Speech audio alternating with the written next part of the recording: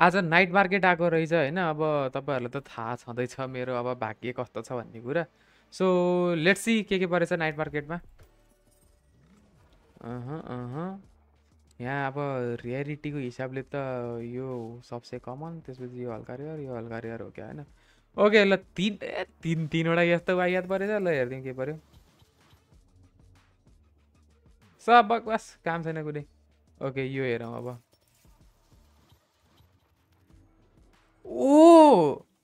nice ओनीको frenzy परेछ okay okay okay thirty one percent डिस्काउन्टमा okay okay सोभेरेन phantom परेछ बाह्र फ्यान्टम त अलरेडी छ त्यही पनि मलाई खासै राम्रो लाग्दैन बा यसो भ्यान्डल केही पर्छ कि भन्ने एक्सपेक्ट गरेको यो चाहिँ के हो यो नाइफ हो नाइफको त एल हुन्छ क्या यो ल हेरौँ के पऱ्यो अब खासै राम्रो त केही पऱ्यो होइन होला क्या अरे